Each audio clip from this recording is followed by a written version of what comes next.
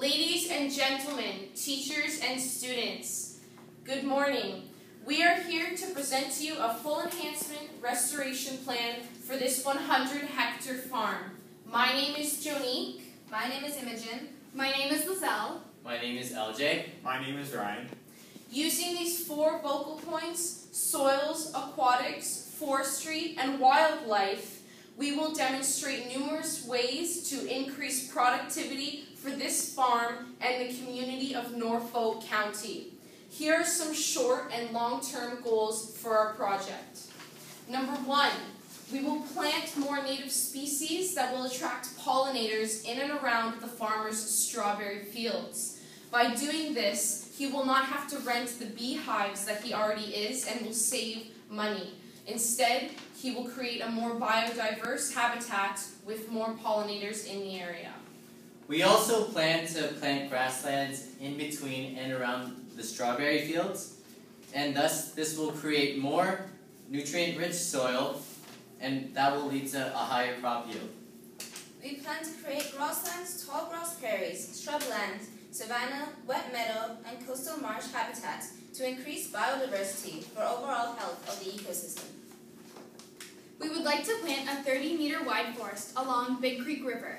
This will lead to, redu to reduce soil erosion, sedimentation, and have it act as a barrier for animals, resulting in reduced river pollution.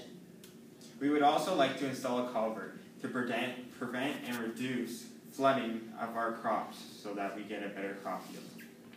First, we'll specify on soils. Soil is the foundation of living existence. No organism or life can exist without soil. Soil is made up of minerals, organics, water, and air. All of these components make soil, and it is done over time. It starts with bedrock and slowly makes its way to our nice topsoil we have. On our farm, we would like to plant some plants that are locally developed for the area, which are violets, sunflowers, round-headed bush clover, butterfly milkweed, and New Jersey structure to bring pollinators to our area. Also, the root system of a raw, tall grass prairie break down the soil and continually rotating the soil, adding large amounts of organic matter to our soil to create healthy strawberries. So, our main project is to plant a 30 meter width riparian zone, and this will prevent erosion and sedimentation and will block any cattle or any other animal from reaching the Big Creek River. We plan to plant uh, black oak trees and maple trees, and uh, planting the maple trees will help rake in revenue. And these forests act as home as a home to a multitude of organisms that contribute to the overall biodiversity and health of the ecosystem. Um, some of these organisms include insects, which are very beneficial to this ecosystem. By doing by introducing this forest, uh, job opportunities are created to help maintain the forest. And we also plan to put up a fence here so that the cattle won't be able to reach the Big Creek River, which will prevent uh, much of the manure and uh, much of their pollution uh, from getting to the river. And by introducing this forest, we it will allow a managed forest tax incentive program, which uh, is uh, given to qualified landowners who agree to manage it according to good forestry practices.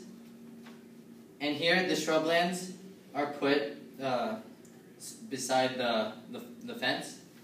And uh, we hope to plant trees with cavities so that animals can use them for nesting, raising young, and escaping from predators. And our approach to the aquatics is to build two different types of habitats. We have the, we have the coastal marsh and the wet meadow. Wet meadows are saturated with water throughout most of the year. They may occur due to restricted drainage of rain or melting snow. They can occur along the shores of large lakes. Since Lake Erie is in the near vicinity, it would be plausible to create this habitat. Unlike swamps or marshes, there is no standing water present in a wet meadow. Due to the concern with the damage that excessive stormwater runoff can cause to nearby lakes and streams, Wet meadows can be used to capture stormwater. The idea is to capture and store rainwater on site and use it as a resource to grow native plants that attract pollinators. This nutrient-rich environment provides vital food and habitat for many insects, birds, amphibians, mammals, and reptiles. Wet meadows occur where farming is prevalent to help with water drainage. Coastal marshes are known for their rotten egg smell. The gas released is hydrogen sulfide. The presence of marshes helps to recycle an unusable compound, which is nitrate, back into usable nitrogen gas. Marsh grass can be planted where barren east, south, or west facing intertidal flats are exposed to low tides, and where full or nearly full sun penetration is present for at least part of the day. During spring, sprigs can be transplanted along with a, a pinch of slow release fertilizer to get the grass off to a good start. These habitats are essential for healthy fisheries, coastlines, and communities.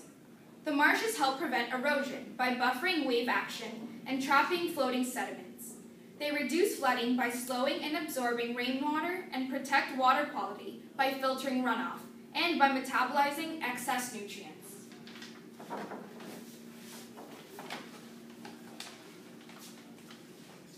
These ecosystems on this board are very fragile and require, require special care to keep them healthy.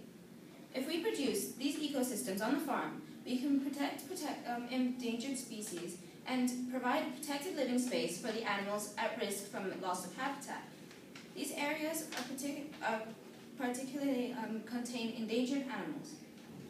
Endangered species like the bobolink from the tall grass prairie, the milk snake from the grasslands, the gray fox from the um, and the gray fox from the rangelands. By creating these habitats, we can, um, we can increase biodiversity uh, on not just the farm, but also in the surrounding area, with not, just the with not just animals, but the plants as well. We can help reduce erosion and increase soil fertility. The plants will, uh, with also thick root systems will help reduce water runoff and prevent pollutants from entering the water table. These animals from, the, from either side of the food chain, if they go extinct, they can destroy um, they can destroy the ecosystem and throw the whole thing out of balance. With that, with this deterioration occur, with it occurring, these animals are extremely endangered. We can help protect these species by giving them a home on this farm. Lastly, we would like to introduce some community involvement practices that we came up with. Number one is that by this farmer doing these ecological restoration plans, he will influence other farms to do the same thing and make it known in that area. In the long term, this will be cost effective. He, he may also create a farmer's market with the crops that he yields, and if he pools together with other farmers to do the same thing, food will cost less in that area. He may also create new volunteer opportunities, volunteers to help with the farmer's market, volunteers to help keep the fence intact and other areas on the farm. Tax benefits may also be granted if he donates land to the Canada's Ecological Gifts Program and the previously mentioned Managed Forest Tax Incentive Program, which is also long term. We hope that this farm finds prosperous satisfaction in applying these ecological plans to make his farm more sustainable together applying all the knowledge and benefits of soils, aquatics, forestry, and wildlife to create a healthy farm environment. Thank you for your time.